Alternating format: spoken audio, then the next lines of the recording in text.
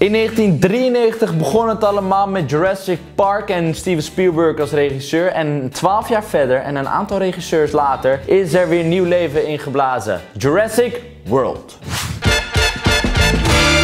Jurassic World, eindelijk. Het eiland, het park. Wat me trouwens een beetje doet denken aan het Team Park World uit dat, nou, dat spel van vroeger. Maar het is er. En de mensen die daar aan het werk zijn, die moeten eens in de zoveel tijd een nieuwe attractie verzinnen. Oftewel een nieuwe dinosaurus ontwikkelen. En dat is dan op een gegeven moment de Indominus Rex. En deze dinosaurus, oh mijn koffie, die is echt helemaal met allerlei genen en dingen, toestanden bij elkaar ger... Hoe noem je dat nou ook alweer, joh? Nou, om het even makkelijk te zeggen, de Indominus Rex bestaat uit allerlei genen van bestaande dieren. Waardoor het echt een super intelligent beest is. Maar dat weten de creators niet. Of misschien toch wel.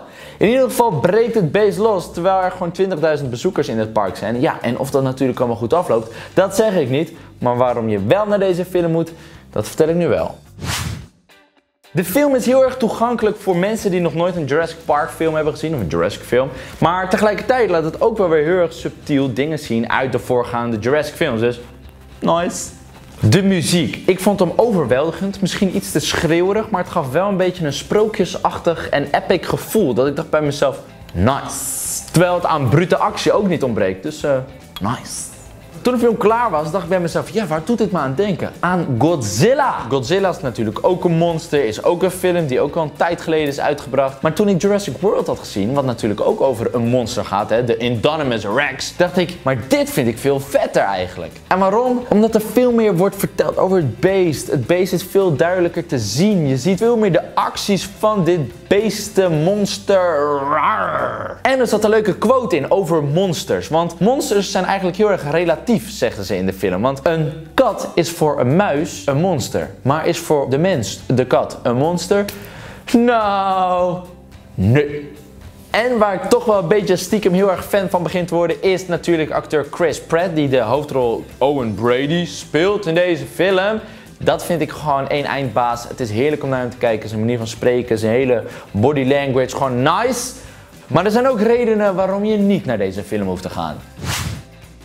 Jurassic World heeft naar mijn idee niks toegevoegd of boven zichzelf uitgestegen ten opzichte van de voorgaande Jurassic films. Dus het is heel erg duidelijk dat ze hier een nieuwe doelgroep willen aanspreken. En de mensen die al bekend zijn met Jurassic Park ja, ik denk dat de meningen verschillen, maar misschien toch een klein beetje in de steek laten. En ik mis toch een beetje een, een, een, donker tintje, een beetje mysterieus, een beetje griezelig. Het is zo open, het is zo licht, het is zo sprookjesachtig. Het staat nog net niet op de aftiteling en ze leefden nog lang en gelukkig. Het is gewoon heerlijk popcornvermaak, het is echt pure entertainment, ziet er nice uit, het is leuk om naar te kijken. 3,5 ster voor Jurassic World en we hebben hele vette giveaways. Eigenlijk moet ik zeggen dat ik een hele vette goodiebag heb die jij winnen. Het is een hele vette weekendtas waarin je alles kan doen. Maar ik heb voor jou daar in ieder geval een pet. Misschien nog wel meer giveaways. En sowieso twee vrijkaarten voor de film Jurassic World in zitten. En hoe je dat kan winnen is als volgt. Deel deze video. Je kan gewoon copy-paste die URL-link die hierboven staat. Of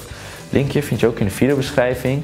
Kan jij copy-pasten. Je deelt hem via Twitter, Instagram of Facebook met hashtag JWFabriek. En tag daarin mij op de filmfabriek. En dan laat ik jou maandag weten of jij misschien wel deze awesome goodie bag hebt gewonnen. Nice. Eigenlijk heel simpel dus. Ik hoop dat je een heel vet weekend hebt. En maak natuurlijk ook zeker je hashtag Bill Selfie. Dit is die van deze week. En wie weet zit er voor jou wel in de volgende filmfabriek review. Elke vrijdag 3 uur. Abonneer. En dan zie ik jou woensdag bij een nieuwe Filmbus video. Mazzel.